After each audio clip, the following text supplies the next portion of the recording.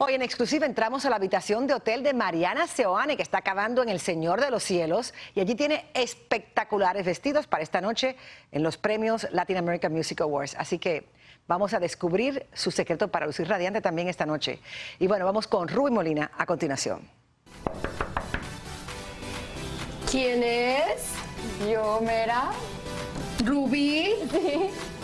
Muy tempranito llegamos a la cita con una de nuestras estrellas favoritas, que como toda mujer está un poco indecisa en cuanto a qué vestido y qué accesorios ponerse para esta noche. El problema es la cantidad de opciones que le han mandado de todas partes del mundo. Brasileña que se llama Patricia Nacimiento, que esto acaba de presentar en el Fashion Week de Nueva York. Y viene directito, ahora sí que de la pasarela. ¿Qué, te pones abajo? Por las transparencias.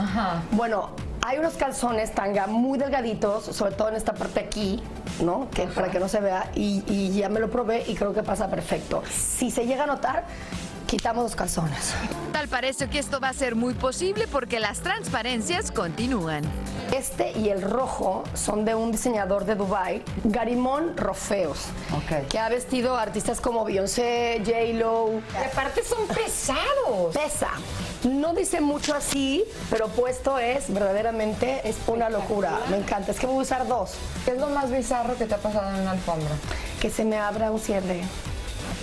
Ah, ¿Así que se te rompa o algo? Se abrió. Ajá. Atrás. Sí. ¿Y no te diste cuenta? Sí. ¿Y qué hiciste?